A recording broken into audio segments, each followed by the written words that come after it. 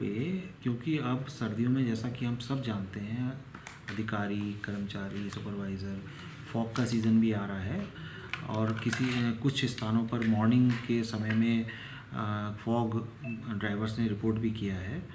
हमने पूरे मंडल में तैयारी कर ली है।